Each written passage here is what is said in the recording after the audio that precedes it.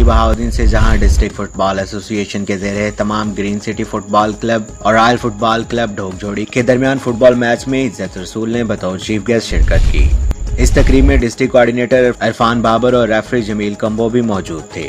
इस मौका पर खताब करते हुए इज़्ज़त रसूल का कहना था कि पाकिस्तान में फुटबॉल के फ्रो के लिए डीएफए मंदी बहाउद्दीन का कलीदी किरदार है। मंडी बहाउद्दीन से ताल्लुक रखने वाले एक पिलर पाकिस्तान के कौमी फुटबॉल टीम के तवील अरसा तक कप्तान रह चुके हैं।